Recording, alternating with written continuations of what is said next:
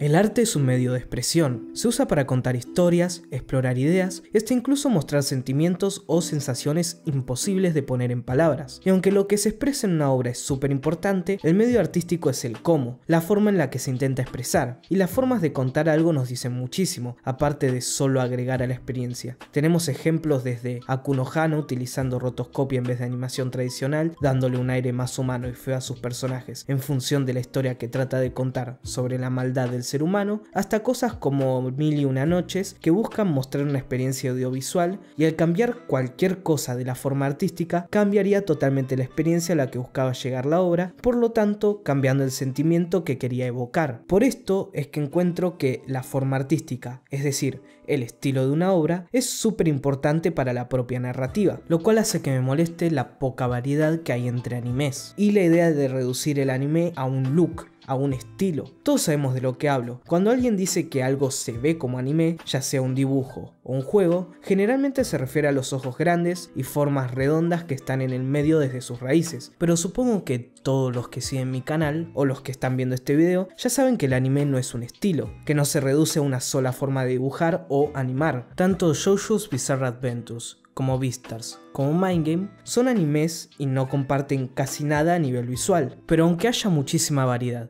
incluso entre los animes que tratan de ir por estos diseños, honestamente la mayoría del anime se ve muy parecido entre sí. Por eso siempre estoy en busca de obras que sean visualmente únicas, que busquen algo nuevo, que busquen experimentar. Generalmente esta búsqueda me lleva a alejarme de las series y acercarme un poco a las películas, ya que son producciones muy grandes. Para hacer una obra de tiempo reducido, por lo tanto se pueden dar el lujo de salirse de las normas y explorar más ideas, pero me hace acercarme todavía más a los cortos. La mayoría del tiempo cuando uno piensa en los cortos, se los piensa como algo para ver en unos 5 minutos y después olvidarlo, algo que solo está ahí y no debe ser tomado tan en serio, lo que realmente puedo comprender. Por su formato no tienen la oportunidad de desarrollar una historia compleja, ni de moverse a un ritmo estable, ni de darnos la oportunidad de irnos encariñando poco a poco con un cast grande de personajes. Pero también por esto son perfectos para experimentar, y lo voy a explicar empezando por lo más evidente. Primero, tienen que generar un impacto en poco tiempo, y ya que no se puede cumplir con nada de lo que dije antes, el experimentar visualmente es una forma fácil de lograrlo. Segundo, como dije antes, no suelen ser ni tan recordados ni tan reconocidos por el público, por lo tanto no se espera que sean súper rentables, ni se pone una gran producción detrás de estos en la gran mayoría de los casos, lo cual puede sonar mal, pero al liberar a la obra de una carga económica y al asignar a un equipo pequeño de personas que se les da la oportunidad para lucirse y expresarse como quieran, se genera el mejor ambiente para dar rienda suelta a la creatividad. Pero, como ya sabrán, muy difícilmente se le va a dejar hacer algo no rentable a un estudio de animación. En los últimos años, el único corto que puedo recordar, con algo de repercusión, que fue creado por un estudio grande, fue The Girl from the Other Side, hecho por Wit Studio. Pero fuera de ese caso, el panorama para los cortos se ve desierto, así que, tristemente, parece que no vamos a ver muchos más en el futuro.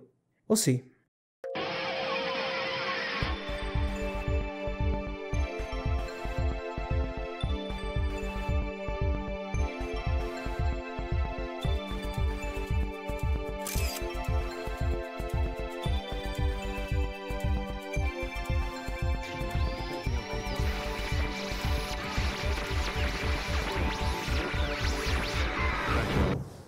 Lo que les acabo de mostrar son todas obras del canal de YouTube Heydai Animation, en el cual se suben obras creadas por los estudiantes en animación de la Escuela de Arte de Tokio, y están subiendo estos proyectos que se fueron creando desde el 2010, es decir que en este canal hay 10 años de experimentación que seguramente no viste, porque es muy poco probable que seas una de las mil personas que vio la mayoría de los cortos, aunque puede ser que sin darte cuenta te hayas topado con los más famosos como People Who Are Eating o con Woman Who Stole Fingers gracias a Demolition D, que lo recomendó hace poco en su vuelta a YouTube después de 3 años sin subir video. Pero me parece correcto el asumir que el más del 90% de las personas que están viendo este video no tenía ni idea de la existencia de estos cortos. Así que, ¿qué nos podemos encontrar? Se pueden encontrar muchas cosas, pero lo que nunca va a faltar es experimentación a nivel visual, y no solo en animación tradicional, van a encontrar muchos stop motion, painting glass e incluso algunos mezclan live action, y la mayoría de los cortos buscan el ser distintos unos de los otros y tener su propia imagen, por lo tanto es muy difícil que encuentres dos iguales o parecidos, pero dadas las limitaciones de ser obras hechas por generalmente un solo animador y que son producidas por la Universidad de Arte de Tokio, la cual supongo que no debe dar super presupuestos, cosas como el ultra realismo o el super detallismo escasean bastante, pero esas cosas ya están muy presentes en obras como Your Name o Children of the Sea, así que no creo que sea algo que necesitemos más. Y aunque la razón principal del por qué estoy recomendando estos cortos es por la animación, no es que lo que cuenten se quede atrás y esté totalmente separado de las visuales, ya que la gran mayoría de estos cortos abandonan el diálogo optando por narrativas visuales. En resumen, se nutren del muestra no cuentes. Pero, ¿qué tipos de historias nos muestran estos cortos? Bueno, suele variar. Puede pasar de historias tan personales que es difícil de entender lo que está pasando, a críticas sociales sobre los diferentes roles, o a cosas tan simples y pequeñas como el placer de tomarse un baño. Pero aunque no hay mucho que una las historias de estos cortos, noté ciertos hilos. Primero que una gran parte de las creadoras son mujeres. No sé si será que yo por casualidad elegí los cortos creados por mujeres, pero yo veo esto como algo positivo. En primer lugar, yo vine a estos cortos buscando cosas distintas de lo que estoy acostumbrado. Y no es que no existan directoras o guionistas o mangakas mujeres, como Rie Matsumoto, Naoko Yamada, Mario Kada, Chika Umino y etc. Pero ciertamente no hay tantas y no suelen tocarse tanto los temas relacionados a la femininidad y mucho menos con el foco que se les da en alguno de estos cortos. Y cuando me refiero a el foco de estos cortos, no es algo que digo porque sí. Como todos sabemos, desórdenes como la ansiedad o la depresión están creciendo cada vez más a nivel mundial, pero esto es todavía más cierto en Japón. Y si también recordamos que los creadores de estos cortos son todos estudiantes de animación, lo cual hace que sus futuros sean bastante inciertos, no es muy difícil el ver cómo estos estudiantes posiblemente sufran o hayan sufrido de estos desórdenes. Y créanme que esto se ve súper reflejado en casi todos los cortos, ya sea que esta depresión se muestre como temática principal o que aparezcan de forma inconsciente. Y es interesante el ver cómo se toca el tema desde diferentes puntos. Y aunque no siempre se hace de manera productiva o positiva, siempre se hace de manera creativa.